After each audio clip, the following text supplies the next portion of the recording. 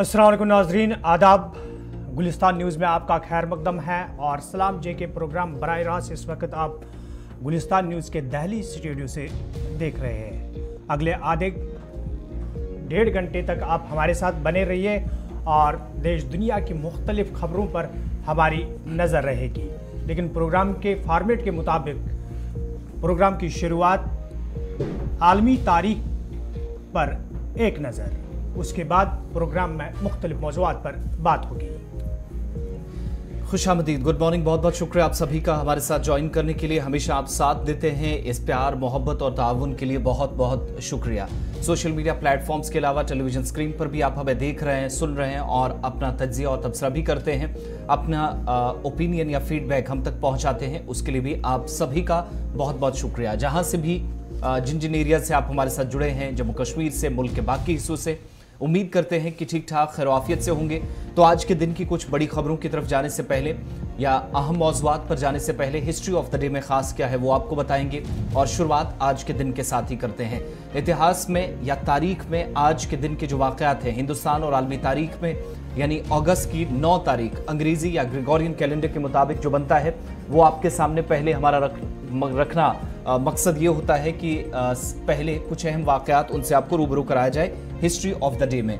1971 में भारत पाकिस्तान के दरमियान एक अहम मुआदा हुआ, जिसमें दोनों मालिक ने इस बात पर इतफाक किया कि दोस्ताना ताल्लुकात को आगे बढ़ाया जाए। 9 अगस्त 1971 को यह पेशरफ दोनों हमसाय मालिक के दरमियान हुई। साल 2000 में पार्लियामेंट ने मध्य प्रदेश तश्कील नौ बिल 2000 को मंजूरी दी और इसके बाद छत्तीसगढ़ रियासत का क्याम अमल में लाया गया। यानी 2000 के बाद जब छत्तीसगढ़ रियासत को बनाना था तो पार्लियामेंट की जानब से मध्य प्रदेश जो रीऑर्गेनाइजेशन एक्ट था, उसके मुताबिक बिल लाया गया, जिसके बाद छत्तीसगढ़ रियासत को बनाने के लिए मंजूरी मिली।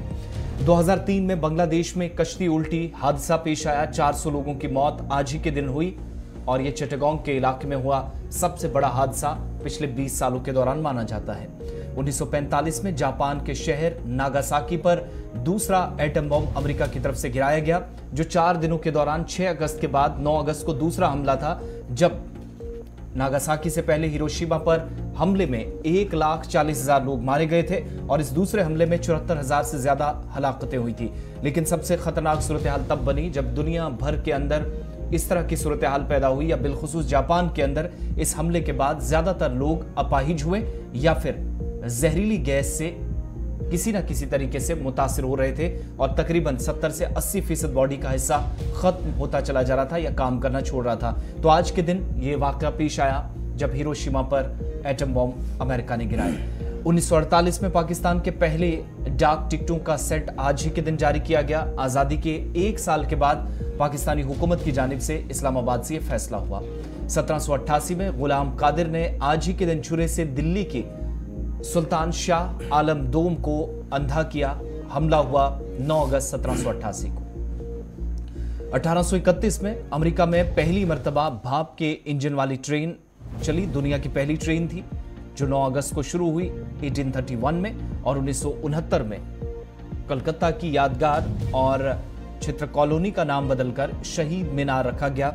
यह फैसला भी हुकूमत की जानब से हुआ और इस फैसले पर अमल दरामद 9 अगस्त उन्नीस सौ उनहत्तर को हुआ।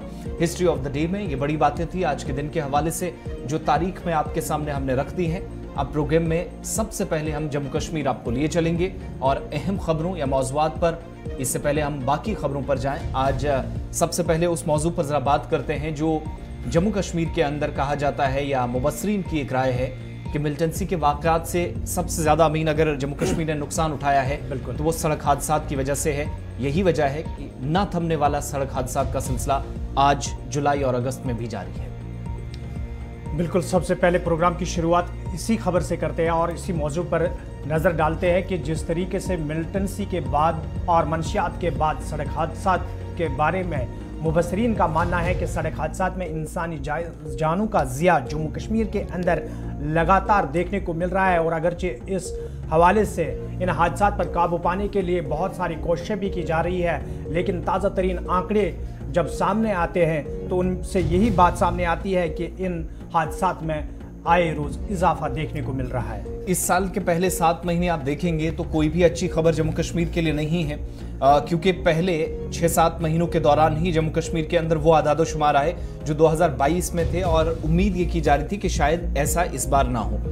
सिर्फ़ कश्मीर सूबे के आप फिगर्स पहले देखिएगा। 2023 में जनवरी से अब तक, आज अगस्त में जब हम आपको डिटेल्स बता रहे हैं तो फिगर्स ये बताते हैं कि एक सड़क हादसा हुए और 135 लोगों ने जान गंवाई। इनमें two wheelers three wheelers four wheelers ऐसे तमाम गाड़ियाँ हैं, ऐसे तमाम व्हीकल्स हैं जो हादसा का शिकार हुई हैं। जब आप लिस्ट वाइज देखते हैं किस डिस्ट्रिक्ट में कितने हादसा हुए हैं तो Srinagar top of the list है। 225 सड़क हादसा रिकॉर्ड किए गए और इस साल बाइकर्स या टू व्हीलर्स सबसे ज़्यादा हादसा का शिकार श्रीनगर और बडगाम के इलाकों में हुए हैं, जो अब तक के फिगर्स बताते हैं। सरकारी आदादोशुमार से पता चलता है कि 2023 में पहली इन पाँच छह महीनों के दौरान या शशमाही में सड़क हादसा में तश्वीशनाक इजाफा। अगले छह महीनों के दौरान या पाँच महीनों के दौरान क्या सिचुएशन रहने वाली है? शायद उसकी भी एक अक्सी करती या तस्वीर हमारे सामने है कि यह सिलसिला अभी भी थम नहीं रहा है। 135 लोगों ने जान पाँच से छह महीनों के दौरान गंवाई है। और आदादोशुमार ये भी बताते हैं कि जनवरी से अब तक जहाँ दस हज़ार चौसठ हादसा हुए हैं, बडगाम ज़िले में ही 180 और सिर्फ़ श्रीनगर ज़िले को ये आप देखेंगे तो 225 हादसा रोनमा हो चुके हैं। श्रीनगर चलेंगे। सैयद हमारे साथ फैसल रियाज ज्वाइन किए हुए हैं। आ, फैसल।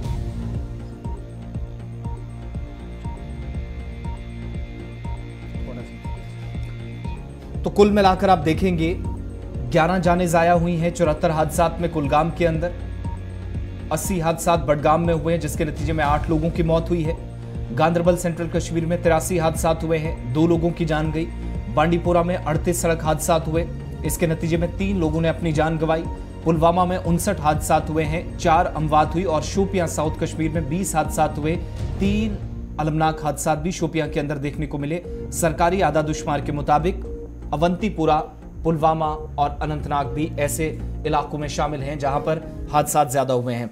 फैसल रियाज हमारे साथ हैं। जरा और रिपोर्ट का खुलासा करते हैं। सरकारी आदादुशुमार तो बताते हैं कितने हादसा हुए हैं।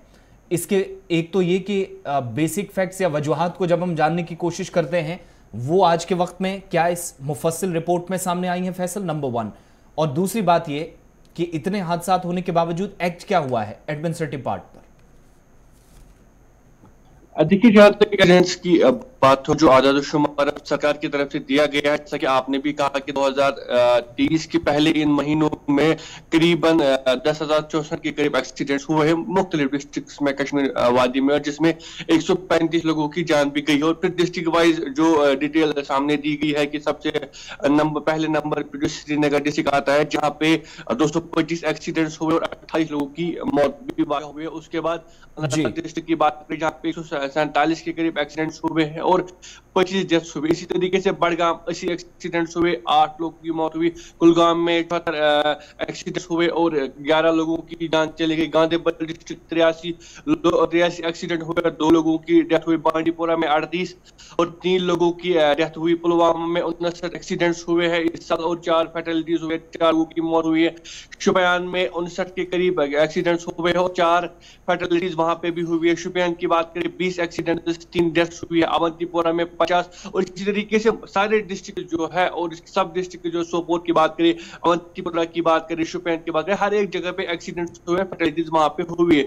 अब जहाँ तक बात है कि क्या कुछ सरकार की तरफ़ से किया जा रहा है सरकार की तरफ़ से लगातार खासकर ट्रैफ़िक डिपार्टमेंट की बात कीजिए उनकी तरफ़ से लगातार सेमिनार्स किए जाते हैं ड्राइवर्स को बुलाया जाता है स्कूल में ट्रैफ़िक जो रूल्स है रेगुलेशन है उनको अमल करने के लिए सेमिनार किए जाते हैं इवेंट्स किए जाते हैं। और आपको मैं बता दूँ इसी के साथ आप देखिए बहुत सारी ऐसी इनिशिएटिव ट्रैफ़िक डिपार्टमेंट ने लिए जबकि इस तरीके का फिगर सामने आया कि एक्सीडेंट्स रोज बरोज होते हैं। खास केस में जो है बाइक वाले इन्वॉल्व होते हैं उन्हीं की फर्टिलिटी ज़्यादा होती है। किसी गाड़ी से टकरा जाते हैं या किसी बैरिकेड से टकरा जाते हैं तो उनकी मौत वाकई होती है। तो इसके हवाले से आप देखिए ट्रैफ़िक डिपार्टमेंट ने कंसर्न ली है और किस तरीके से जो इनिशिएटिव उन्होंने लिए सबसे पहले ई चालान की बात करें तो ई चालान एक बड़ा बेहतरीन इशू बेहतरीन इनिशिएटिव लिया गया है जो भी ट्रैफ़िक वायलेट करता है ओवर स्पीड करता है या उल्लंघन करता है तो उसके खिलाफ ई चालान हो जाता है। उसके साथ साथ स्ट्रीम लाइन पेनल्टीज होती है। सजाए बाजब तौर पर मिलती है। मोटर के आपको मैं इसी के साथ साथ बता दूँ कि अगर कोई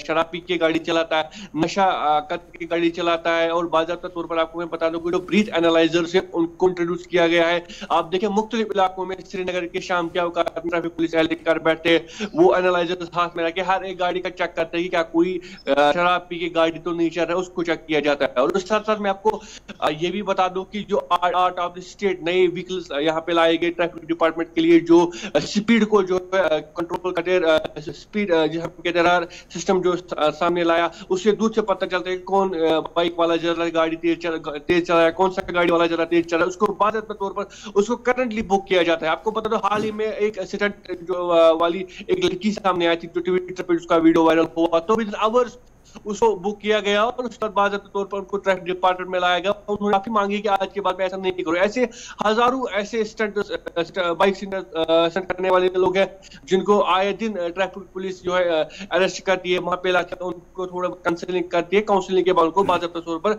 छोड़े जाते हैं। लेकिन अभी ये एक अभी पहले पहले दिनों की तस्वीर सामने आई है। अगर इस पर रोक नहीं लगी है या अगर एक बाइक चलाने वाला या एक गाड़ी चलाने वाला नहीं समझेगा कि किस तरीके की हाल आगे जाके होने मुझे लगता है, ये जिस, जो साल, जो इस साल पहले महीनों में जो तस्वीर हमारे सामने आई है, इसमें मजीद इजाफा होगा। डिपार्टमेंट की तरफ़ से तो लगातार कोशिश की जाती है, लेकिन अभी भी जो मैक्सिमम लोग खासकर बाइक जो बाइक चलाते हैं वो अभी भी इस चीज़ को नहीं समझ पाते हैं कि ओवर ड्राइविंग या हम किसी जैसे हम ट्रैफ़िक वायलेट करते हैं तो इससे हमारी जान को खतरा रहता है। फ़िलहाल तो ये आज इन सात महीनों का डाटा है आठ महीनों का डाटा है लेकिन अब आप देखिए ये साल खत्म होगा अगर लोग नहीं समझेंगे वो बच्चे नहीं समझेंगे जो बाइक पे स्टैंड करते तो कहीं ना कहीं ये तस्वीर जो है मजीद खतरनाक आगे जाके होगी और फिर मुश्किल हो जाएगी इन मौत को जो है रोकना क्योंकि अभी भी आप देखिए हर एक इलाके में कोई ना कोई ऐसा स्टंट बाइक स्टंट हो जहाँ से कहीं ना कहीं उसकी भी स्टक करने वाले की भी जान चली जाती है और जो सामने होता है उसकी भी जान चली जाती है। मैक्सिमम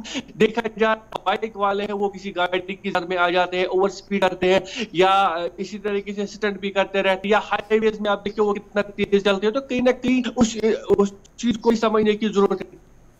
करेगा? बहुत बहुत शुक्रिया फैसल तफसलात फराहम करने के लिए। ओवरऑल एक तरह का तो हैबिचुअल वॉयलेटर कहलाता है एक शख्स वो होता है जो बार बार इस तरह की हरकतें करता है और उसके बाद स्ट्रिक्ट एक्शन लेने की ज़रूरत भी है।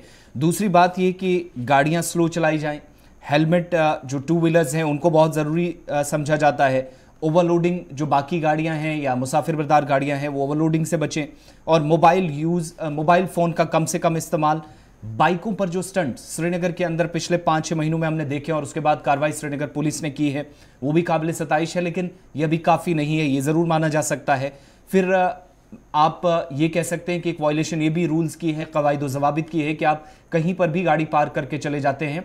तस्वीरें तो अब पुरानी आपको दिखा रहे हैं खत चिनाब की, जम्मू प्रोविंस की, या फिर इसके अलावा जो कश्मीर वैली में अलग अलग जगहों पर हादसा हुए लेकिन एक मॉरल रिस्पॉन्सिबिलिटी ये भी है कि सिर्फ़ वॉक से सेमिनार से प्रोग्राम से, तकारीब से, समझाने से काउंसलिंग से ही मसला हल नहीं होगा। सख्त इकदाम कवानीन के मुताबिक भी उठाने की या इस वक्त ज़रूरत है, ताकि कम से कम ये बात समझ में आए कि ट्रैफ़िक वायलेटर्स अगर एक बार होते हैं तो उनको ये महसूस कहीं ना हो कि ट्रैफ़िक पुलिस ने पाँच सौ रुपये लेकर चालान काट दिया और उसके बाद दोबारा हम काम करेंगे। पाँच सौ रुपये से कोई फ़र्क नहीं पड़ता। लेकिन जब जान किसी की जाती है तो फिर उस परिवार को, उस घर के लोगों को ही पता है कि उनके घर के अफराद में किन, कोई एक भी उनमें से बिछड़ जाए। बहरहाल ये एक हमारे सामने तश्वीशनाक सूरत हाल है, तस्वीरें हैं। और ये पिछले साल आप छोड़िएगा 2022 में भी 2000 के करीब सड़क हादसा बल्कि इससे ज़्यादा हुए लेकिन गैर सरकारी आदादोशुमार के मुताबिक 2000 के आसपास 2100 के आसपास हादसा थे जो कुछ रिपोर्ट्स हमें याद है जिसमें साढ़े छह से 800 के दरमियान लोगों की जान गई थी। लेकिन ये अभी इस साल पहले छह महीनों के दौरान क्या हुआ है वो फिगर्स वो डिटेल्स आपके सामने हमने रख दी है और इसमें सबसे खतरनाक सिचुएशन जो है वो श्रीनगर के अंदर जहाँ पर इकदाम उठाने के बावजूद भी साहिल ढाई के आसपास हादसा हुए हैं। बिल्कुल, अगर इस हवाले से बात करें, जिस तरीके से फैसल भी कह रहे थे कि बाइक राइडर्स जो है, जो नौजवान यूथ है, उनमें हादसा का ज़्यादा रुझान पाया गया है क्योंकि वो ओवरटेकिंग भी करते हैं और फास्ट ड्राइविंग भी करते हैं। इस हवाले से